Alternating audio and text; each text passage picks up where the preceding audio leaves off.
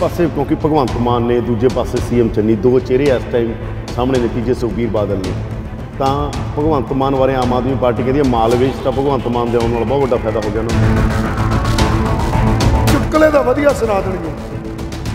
ਪਰ ਚੁਟਕਲਿਆਂ ਨਾਲ ਢਿੱਡ ਨਹੀਂ ਭਰਨਾ, ਕੰਮ ਕੀਤੇ ਹੀ ਹੋਣੇ। ਸੋ ਇੱਕ ਸੀਰੀਅਸ ਕੰਮ ਕਰਨ ਵਾਲਾ ਮੁੱਖ ਮੰਤਰੀ ਚਾਹੀਦਾ ਹੈ। ਪਹਿਲਾ ਪੋਸਟਰ ਲੱਗੇ ਸੀ ਸਾਰੇ ਪੰਜਾਬ 'ਚ ਇੱਕ ਮੌਕਾ ਕੇਜਰੀਵਾਲ। ਸੋ ਕੇਜਰੀਵਾਲ ਸਾਹਿਬ ਨੇ ਪਹਿਲਾਂ ਉਹਦੀ ਕੋਸ਼ਿਸ਼ ਕੀਤੀ ਕਿ ਦੇਖੀਏ ਮੈਨੂੰ, ਮੇਰਾ ਕੀ ਰਿਸਪੌਂਸ ਆਉਂਦਾ। ਜਦੋਂ ਕੇਜਰੀਵਾਲ ਸਾਹਿਬ ਨੂੰ ਪਤਾ ਲੱਗਾ ਕਿ ਮੇਰੀ ਗੱਲ ਨਹੀਂ ਬਣਦੀ, ਉਹਨਾਂ ਨੇ ਹੁਣ ਵਿਚਾਰੇ ਨਾਲ ਭਗਵੰਤ ਮਾਨ ਨੂੰ ਖੜਾ ਕਰ ਲਿਆ। ਹੁਣ ਨਵੇਂ ਪੋਸਟਰ ਹੈ, ਇੱਕ ਮੌਕਾ ਕੇਜਰੀਵਾਲ ਤੇ ਭਗਵੰਤ ਮਾਨ ਨੂੰ। ਸੋ ਮੇਰਾ ਕਹਿਣ ਤੋਂ ਭਾਵ ਇਹ ਹੈ, ਇਹਦੇ ਵਿੱਚ ਵੀ ਗੁਲਝਣ ਹੈ।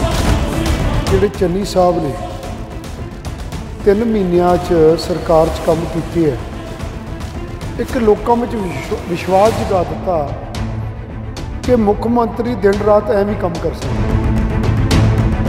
ਲੋਕਾਂ 'ਚ ਆਵਾਜ਼ ਆ ਕਿ ਸੀਐਮ ਚਿਹਰਾ ਚੰਨੀ ਹੋਣ। ਬਿਲਕੁਲ ਇਹਦੇ ਵਿੱਚ ਆਵਾਜ਼ ਤੁਹਾਡੀ ਕੀ ਆਵਾਜ਼ ਆ? ਤੁਹਾਨੂੰ ਲੱਗਦਾ ਸੀਐਮ ਚੰਨੀ ਜੇ ਅਗਲਾ ਚਿਹਰਾ ਹੋਣਗੇ ਉਹਦੇ ਨਾਲ ਕਾਂਗਰਸ ਪਾਰਟੀ ਨੂੰ ਫਾਇਦਾ ਹੋਏਗਾ? ਫਰੀਦਕੋਟ 'ਚ ਲੜਾਈ ਕਿਵੇਂ ਦੇਖ ਰਹੇ ਹੋ? ਕਿਉਂਕਿ ਤੁਹਾਡੇ ਸਾਹਮਣੇ ਸੇਖੋਂ ਨੇ ਬੰਟੀ ਰਮਾਣਾ ਨੇ ਆਪਣੀ ਆਪਣੀ ਜਿੱਤ ਦੇ ਦਾਅਵੇ ਉਹਨਾਂ ਦੋਵਾਂ ਦੇ ਨੇਗੇ ਕਿ ਸਾਡੀ ਜਿੱਤ ਹੋ ਰਹੀ ਹੈ। ਸੋ ਅਸੀਂ ਤਾਂ ਇਹ ਕਹਿੰਦੇ ਆ ਕੰਮ ਕੀਤੇ ਤੇ ਕਰਾਂਗੇ। ਤੇ ਸਾਡੇ ਤੋਂ ਦੱਬ ਕੇ ਕੰਮ ਲਓ ਸਾਨੂੰ ਗੱਲਾਂ ਨਹੀਂ ਆਉਂਦੀਆਂ। ਮੈਨੂੰ ਆਪਨੇ ਨਹੀਂ ਕੀਤੇ ਤੁਸੀਂ ਉਹਦੇ ਬਾਵਜੂਦ ਵੀ ਇਹ ਮੰਨਦੇ ਹੋ ਕਿ ਮੁਕਾਬਲਾ ਕਾਂਗਰਸ ਦਾ ਆਪ ਨਾਲ ਪਿਛਲੀ ਵਾਰ ਤੁਸੀਂ ਕਿਹਾ ਸੀ। ਜਿਵੇਂ ਸਰਦਾਰ ਸਾਧੂ ਸਿੰਘ ਜਿੱਤ ਕੇ ਲੋਕਾਂ ਨੂੰ ਥਿਆਏ ਨਹੀਂ ਸਰਦਾਰ ਗੁਰਦਿੱਤ ਸਿੰਘ ਸੇਖੋਂ ਹਾਰ ਕੇ ਲੋਕਾਂ ਨੂੰ ਥਿਆਏ ਨਹੀਂ। ਅੱਜ ਟਿਕਟ ਮਿਲ ਗਈ ਆ ਗਏ ਪ੍ਰੋ ਪੰਜਾਬ ਟੀਵੀ ਤੇ ਤੁਹਾਡਾ ਸਵਾਗਤ ਹੈ। ਮੈਂ ਹਾਂ ਯਾਦਵਿੰਦਰ ਸਿੰਘ। ਮਾਲਵੇ ਦੀ ਧਰਤੀ ਤੇ ਬੈਠੇ ਹਾਂ ਤੇ ਮਾਲਵੇ ਦੀ ਧਰਤੀ ਸਰਕਾਰ ਬਣਾਉਂਦੀ ਹੈ ਕਿਉਂਕਿ ਸਭ ਤੋਂ ਜ਼ਿਆਦਾ ਸੀਟਾਂ ਮਾਲਵੇ ਚ ਆਉਂਦੀਆਂ ਨੇ। ਸਾਡੇ ਨਾਲ ਫਰੀਦਕੋਟ ਤੋਂ ਕੁਸ਼ਲਦੀਪ ਸਿੰਘ ਢਿੱਲੋਂ ਨੇ। ਕਾਂਗਰਸ ਪਾਰਟੀ ਤੋਂ ਚੋਣ ਲੜ ਰਹੇ ਨੇ। ਗੱਲਬਾਤ ਕਰਦੇ ਹਾਂ ਕੀ ਢਿੱਲੋਂ ਦੇ ਨਾਲ ਕੀ ਕੀ ਕਹਿ ਰਿਹਾ ਮਾਲਵਾ ਔਰ ਕੀ ਆਉਣ ਵਾਲੇ ਸੀਐਮ ਜਿਹੜੇ ਚਿਹਰੇ ਨੇ ਉਹ ਸੀਐਮ ਚੰਨੀ ਹੀ ਨੇ। ਗੱਲਬਾਤ ਕਰਦੇ ਹਾਂ। ਸਵਾਗਤ ਹੈ ਜੀ? ਥੈਂਕ ਯੂ ਜੀ ਥੈਂਕ ਯੂ ਮਿਹਰਬਾਨ ਯਾਦਵਿੰਦਰ ਜੀ। ਮੈਂ ਤੁਹਾਡੇ ਪੋਸਟਰ ਦੇਖ ਰਿਹਾ ਸੀ ਆਉਂਦਾ ਹੋਇਆ। ਤੁਹਾਡੇ ਹਲਕੇ ਜਿਹੜੇ ਲੱਗੇ ਹੋਏ ਨੇ। ਪਹਿਲਾ ਨਾਮ ਤੁਸੀਂ ਲਿਖਿਆ ਸੀਐਮ ਚੰਨੀ ਤੇ ਕਿੱਕੀ ਢਿੱਲੋਂ ਨੂੰ ਇੱਕ ਮੌਕਾ ਹੋਰ ਦਿਓ। ਕੁਛ ਇਸ ਤਰ੍ਹਾਂ ਦੀ ਤੁਸੀਂ ਗੱਲ ਲਿਖੀ ਹੋਈ ਹੈਗੀ। ਸੀਐਮ ਦਾ ਨਾਮ ਪਹਿਲਾਂ।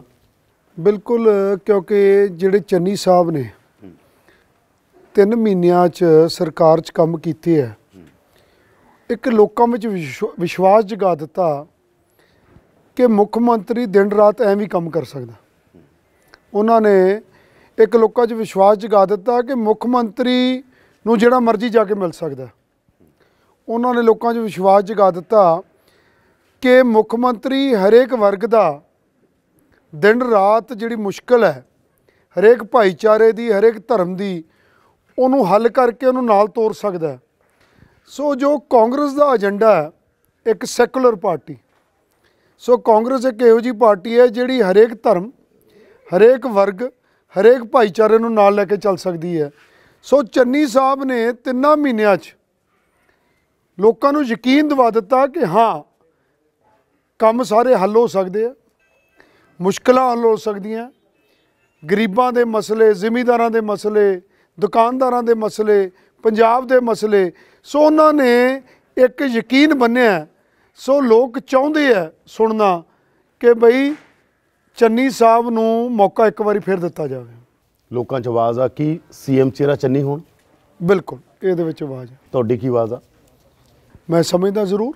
ਜੇ ਲੋਕਾਂ ਦੀ ਆਵਾਜ਼ ਆ ਤਾਂ ਸਾਡੀ ਸਾਰਿਆਂ ਦੀ ਆਵਾਜ਼ ਹੈ। ਤੁਹਾਨੂੰ ਲੱਗਦਾ ਸੀਐਮ ਚੰਨੀ ਜੇ ਅਗਲਾ ਚਿਹਰਾ ਹੋਣਗੇ ਉਹਦੇ ਨਾਲ ਕਾਂਗਰਸ ਪਾਰਟੀ ਨੂੰ ਫਾਇਦਾ ਹੋਏਗਾ? ਦੇਖੋ ਜਿਹੜਾ ਚਿਹਰੇ ਦਾ ਫੈਸਲਾ ਕਰਨਾ ਉਹ ਕਰਨਾ ਹੈ ਕਾਂਗਰਸ ਹਾਈ ਕਮਾਂਡ ਨੇ ਉਹ ਮੇਰਾ ਪ੍ਰੈਰੋਗੇਟਿਵ ਨਹੀਂ। ਪਰ ਜੋ ਲੋਕਾਂ ਦੀ ਆਵਾਜ਼ ਹੈ ਜੋ ਸਾਨੂੰ ਲੋਕ ਕਹਿੰਦੇ ਆ ਜਾਂ ਲੋਕਾਂ ਤੱਕ ਆਉਂਦੀ ਹੈ ਉਹ ਅੱਗੇ ਪਹੁੰਚਾਉਣਾ ਉਹ ਸਾਡਾ ਫਰਜ਼ ਹੈ। ਫੈਸਲਾ ਕਰਨਾ ਹੈ ਹਾਈ ਕਮਾਂਡ ਨੇ। ਇੱਕ ਪਾਸੇ ਕਿਉਂਕਿ ਭਗਵੰਤ ਮਾਨ ਨੇ ਦੂਜੇ ਪਾਸੇ ਸੀਐਮ ਚੰਨੀ ਦੋ ਚਿਹਰੇ ਇਸ ਟਾਈਮ ਸਾਹਮਣੇ ਨਤੀਜੇ ਸੁਖਬੀਰ ਬਾਦਲ ਨੇ। ਤਾਂ ਭਗਵੰਤ ਮਾਨ ਬਾਰੇ ਆਮ ਆਦਮੀ ਪਾਰਟੀ ਕਹਿੰਦੀ ਹੈ ਮਾਲਵੇ 'ਚ ਤਾਂ ਭਗਵੰਤ ਮਾਨ ਦੇ ਆਉਣ ਨਾਲ ਬਹੁਤ ਵੱਡਾ ਫਾਇਦਾ ਹੋ ਗਿਆ ਉਹਨਾਂ ਨੂੰ। ਦੇਖੋ ਮੈਂ ਇਸ ਗੱਲ 'ਚ ਮੈਂ ਇੱਕ ਬੜੀ ਗੱਲ ਕਲੀਅਰ ਗੱਲ ਕਰਨਾ ਚਾਹੁੰਦਾ।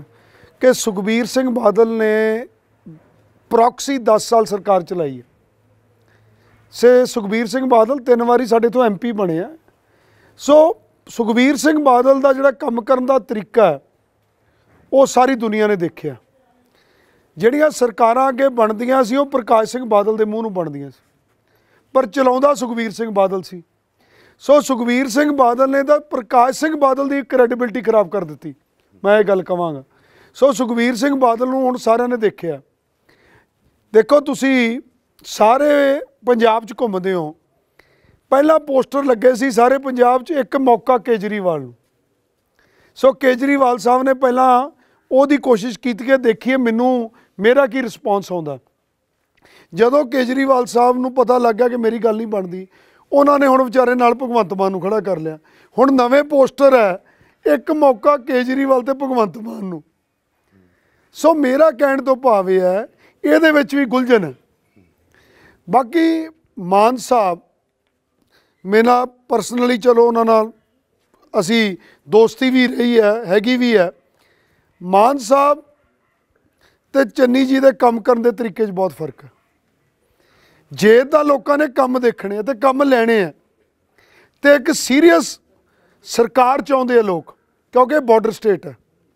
ਇੱਥੇ ਇੱਕ ਨੈਸ਼ਨਲ ਪਾਰਟੀ ਚਾਹੀਦੀ ਹੈ, ਜਿਹੜੀ ਹਰੇਕ ਧਰਮ ਨੂੰ, ਹਰੇਕ ਭਾਈਚਾਰੇ ਨੂੰ ਨਾਲ ਲੈ ਕੇ ਚੱਲ ਸਕੇ ਤੇ ਇੱਕ ਸੀਰੀਅਸ ਸਰਕਾਰ ਹੋਵੇ ਨੈਸ਼ਨਲਿਸਟ ਪਾਰਟੀ ਹੋਵੇ, ਜਿਹੜੀ ਬਾਰਡਰ ਸਟੇਟ ਨੂੰ ਚਲਾ ਸਕੇ। ਫਿਰ ਤਾਂ ਮੈਂ ਸਮਝਦਾ ਚੰਨੀ ਸਾਹਿਬ ਦਾ ਤੇ ਭਗਵੰਤ ਮਾਨ ਜੀ ਦਾ ਕੋਈ ਮੁਕਾਬਲਾ ਨਹੀਂ। ਚੰਨੀ ਸਾਹਿਬ ਨੇ ਤਾਂ ਤਿੰਨਾਂ ਮਹੀਨੇ 'ਚ ਦਿਖਾਤਾ, ਟ੍ਰੇਲਰ। ਸੋ ਮਾਨ ਸਾਹਿਬ ਬਾਰੇ ਮੈਂ ਕੋਈ ਕਿੰਤੂ ਪਰੰਤੂ ਨਹੀਂ ਕਰਨਾ ਚਾਹੁੰਦਾ। ਪਰ ਭਰਾਵੋ ਮੈਂ ਇੱਕ ਗੱਲ ਜ਼ਰੂਰ ਤੁਹਾਡੇ ਰਾਹੀਂ ਸਾਰੇ ਤੁਹਾਡੇ ਸਰੋਤਿਆਂ ਨੂੰ ਕਹਿਣਾ ਚਾਹੁੰਦਾ ਕਿ ਚੁਟਕਲੇ ਦਾ ਵਧੀਆ ਸੁਣਾ ਦੇਣਗੇ ਪਰ ਚੁਟਕਲਿਆਂ ਨਾਲ ਢਿੱਡ ਨਹੀਂ ਭਰਨਾ ਕੰਮ ਕੀਤੇ ਹੀ ਹੋਣੇ। ਸੋ ਇੱਕ ਸੀਰੀਅਸ ਕੰਮ ਕਰਨ ਵਾਲਾ ਮੁੱਖ ਮੰਤਰੀ ਚਾਹੀਦਾ ਜਿਹੜਾ ਦਿਨ ਰਾਤ ਕੰਮ ਕਰਕੇ ਪੰਜਾਬ ਦੇ ਮਸਲੇ ਹੱਲ ਕਰੇ। ਕੀ ਲੱਗਦਾਗਾ ਫਰੀਦਕੋਟ 'ਚ ਲੜਾਈ ਕਿਵੇਂ ਦੇਖ ਰਹੇ ਹੋ? ਕਿਉਂਕਿ ਤੁਹਾਡੇ ਸਾਹਮਣੇ ਸੇਖੋਂ ਨੇ ਬੰਟੀ ਰਮਾਣਾ ਨੇ ਆਪਣੀ ਆਪਣੀ ਜਿੱਤ ਦੇ ਦਾਅਵੇ ਉਹਨਾਂ ਦੋਵਾਂ ਦੇ ਨੇਗੇ ਕਿ ਸਾਡੀ ਜਿੱਤ ਹੋ ਰਹੀ ਹੈ। ਦੇਖੋ ਦਾਵਾ ਤਾਂ ਹਰੇਕ ਹੀ ਕਰਦਾ। ਜੇ ਤੁਸੀਂ ਕੋਈ ਇੰਡੀਪੈਂਡੈਂਟ ਨੂੰ ਵੀ ਪੁੱਛੋਗੇ, ਉਹ ਵੀ ਕਹੂਗਾ, ਮੈਂ ਜਿੱਤੂਗਾ। ਦੇਖੋ, ਇੱਕ ਗੱਲ ਸੁਣ ਲਓ। ਮੇਰੀ, ਉਹਨਾਂ ਨਾਲ ਕੋਈ ਲੜਾਈ ਨਹੀਂ। ਮੇਰੀ ਲੜਾਈ ਇਹ ਹੈ ਕਿ ਮੈਂ ਪੋਜ਼ਿਟਿਵ ਸੋਚ ਲੈ ਕੇ ਚੱਲਦਾ, ਹਮੇਸ਼ਾ ਹੀ। ਮੈਂ ਹਲਕੇ ਦੇ ਕੰਮ ਕੀਤੇ ਆ ਦੱਬ ਕੇ। ਤੇ ਮੈਂ ਆਪਦੇ ਕੀਤੇ ਹੋਏ ਕੰਮਾਂ ਤੇ ਵੋਟ ਮੰਗ ਰਿਹਾ। ਤੇ ਗਾਂ ਅੱਗੇ ਲੋਕਾਂ ਨੂੰ ਦੱਸ ਰਿਹਾ ਕਿ ਮੈਂ ਹਲਕੇ ਵਾਸਤੇ ਕੀ ਕਰੂੰਗਾ। ਸੋ ਮੇਰੀ ਤਾਂ ਇਹ ਸੋਚ ਹੈ ਕਿ ਮੈਂ ਕੰਮ ਕਰਕੇ ਦਿਖਾਏ ਤੇ ਕੰਮ ਕਰਕੇ ਦੇਣੇ ਆ ਲੋਕਾਂ ਨੂੰ। ਜਿਵੇਂ ਅੱਗੇ ਕੀ ਕਹਿ ਰਹੇ ਹੋ ਕਿ ਅੱਗੇ ਕੀ ਕਰੋਗੇ? ਜਿਹੜੇ ਰਹਿੰਦੇ ਕੰਮ। ਜਿਵੇਂ? ਜਿਵੇਂ ਸਪੋਜ਼ ਕਰੋ ਜਿਹੜੇ ਕਈ ਤਾਂ ਦੇਖੋ ਪਿੰਡ ਲੈਵਲ ਦੀਆਂ ਮੁਸ਼ਕਲਾਂ ਕਈ ਇਲਾਕੇ ਲੈਵਲ ਦੀਆਂ ਮੁਸ਼ਕਲਾਂ ਸੋ ਪਿੰਡਾਂ ਵਿੱਚ ਜੇ ਅਸੀਂ 80% ਕੰਮ ਕਰਤੇ ਵੱਡੇ ਕੰਮ 20% ਰਹਿੰਦੇ ਆ, ਲੋਕਾਂ ਨੂੰ ਸਾਡੇ ਤੇ ਯਕੀਨ ਹੈ। ਅਸੀਂ ਕਹਿੰਦੇ ਆ ਕਿ ਬਈ 80 ਕਰਤੇ ਆ ਕੀਤੇ ਪਏ ਆ ਤੇ ਆ 20 ਰਹਿੰਦੇ ਅਸੀਂ ਕਰਕੇ ਦੇਵਾਂਗੇ। ਲੋਕਾਂ ਨੂੰ ਯਕੀਨ ਹੈ। ਭਾਈ ਸਾਹਿਬ, ਯਾਦਵਿੰਦਰ ਜੀ, ਸਾਡੇ ਇਲਾਕੇ ਵਿੱਚ 10 ਸਾਲ ਅਕਾਲੀ ਦਲ ਦੀ ਸਰਕਾਰ ਰਹੀ ਹੈ, ਸੁਖਬੀਰ ਸਿੰਘ ਬਾਦਲ ਨੇ ਇਲਾਕਾ ਰਿਪਰੈਜ਼ੈਂਟ ਕੀਤਾ। ਜੋ 10 ਸਾਲ ਚ ਹੋਇਆ, ਲੋਕਾਂ ਨੇ ਦੇਖਿਆ, ਉਹਨਾਂ ਨੂੰ ਲੋਕਾਂ ਨੇ ਪਰਖਿਆ। 5 ਸਾਲ ਸਾਡੇ ਇਲਾਕੇ ਦੇ ਲੋਕਾਂ ਨੇ ਬਹੁਤ ਵੋਟਾਂ ਪਾ ਕੇ ਪ੍ਰੋਫੈਸਰ ਸਾਧੂ ਸਿੰਘ ਨੂੰ ਜਿਤਾਇਆ ਸੀ, ਝਾੜੂ ਵਾਲਿਆਂ ਨੂੰ ਐਮਪੀ ਨੂੰ। ਫਰੀਦਕੋਟ ਹੀ ਰਹਿੰਦੇ ਆ। ਉਸ ਤੋਂ ਬਾਅਦ ਕੰਮ ਤਾਂ ਕੀ ਕਰਨੇ ਸੀ, ਲੋਕਾਂ ਨੇ ਇੱਕ ਵਾਰੀ ਉਹਨਾਂ ਦੀ ਸ਼ਕਲ ਵੀ ਨਹੀਂ ਦੇਖੀ। ਅਸਲੀਅਤ ਗੱਲ ਹੈ। ਤੁਸੀਂ ਘੁੰਮ ਫਿਰ ਕੇ ਪੁੱਛ ਲਿਓ। ਲੋਕਾਂ ਨੂੰ ਪੁੱਛ ਲਓ ਕਿ ਕਦੀ ਉਸ ਤੋਂ ਬਾਅਦ ਸਾਧੂ ਸਿੰਘ ਨੂੰ ਦੇਖਿਆ? ਸੋ ਲੋਕਾਂ ਨੇ ਕੰਮ ਲੈਣੇ। ਸੋ ਸਾਡੇ ਇਲਾਕੇ ਵਿੱਚ ਤਾਂ ਕੰਬੀਨੇਸ਼ਨ ਹੈ ਮੈਂ ਥੱਲੇ ਕੰਮ ਕਰਕੇ ਦਿੱਤੇ ਆ। ਉੱਤੇ ਲੋਕਾਂ ਨੂੰ ਯਕੀਨ ਹੈ ਕਿ ਚੰਨੀ ਸਾਹਿਬ ਨੇ ਕਰਕੇ ਦਿਖਾਏ ਆ। ਸੋ ਅਸੀਂ ਤਾਂ ਇਹ ਕਹਿੰਦੇ ਆ, ਕੰਮ ਕੀਤੇ ਆ ਤੇ ਕਰਾਂਗੇ। ਤੇ ਸਾਡੇ ਤੋਂ ਦੱਬ ਕੇ ਕੰਮ ਲਓ। ਸਾਨੂੰ ਗੱਲਾਂ ਨਹੀਂ ਆਉਂਦੀਆਂ। ਤੇ ਅਸੀਂ ਗੱਲਾਂ ਸੁਣਾ ਕੇ ਵੋਟਾਂ ਨਹੀਂ ਲੈਣੀਆਂ। ਅਸੀਂ ਤਾਂ ਕੰਮ ਕੀਤੇ ਆ।